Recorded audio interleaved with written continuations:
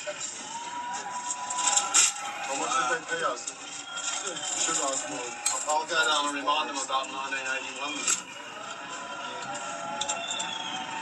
and how they had us thrown off stage. Yeah, how I here then. I didn't have that experience in here as well. It's different management. These guys have been here for five years. And I thought, yeah, well, so what?